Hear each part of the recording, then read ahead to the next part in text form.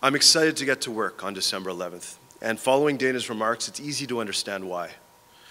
From Amazon to Great West Life, Innovation Alley to manufacturing, great things are happening here, and it's clear that the city is open for business.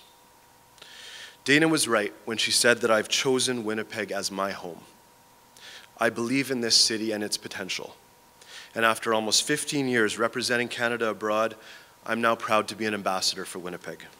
I'm fortunate to be joining what is already a strong and highly capable Yes Winnipeg team at a time of unprecedented collaboration between the city, the province, and the private sector under the Team Manitoba banner. Dana gave me a few minutes to speak, and I'd like to use them to emphasize my early commitment to you. I'll need some time to get up and running in this new role, and I know I've got a lot to learn. So my first commitment is to begin by listening to my new colleagues, to the board, and most of all to you, the investors in Yes Winnipeg that make our efforts in support of job creation and economic growth possible. I look forward to meeting each and every one of you in the coming weeks, and my door is always open to you. My second commitment is accountability. I've engaged with hundreds of Canadian companies over my career, and I know how hard you work for your money.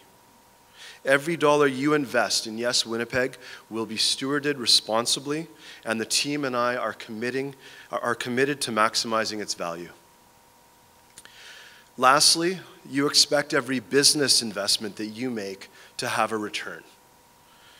Your investment in Yes Winnipeg should be no different and I commit to exploring new and innovative ways to measure and communicate our impact. We all care about this city, its future, and the opportunities that it generates for our children, our grandchildren, and the broader community. As Vice President of Sales and Business Development, I will work tirelessly to mobilize Yes Winnipeg in support of our common vision. Thank you for this opportunity and for your continued support of Yes Winnipeg. I look forward to working with you.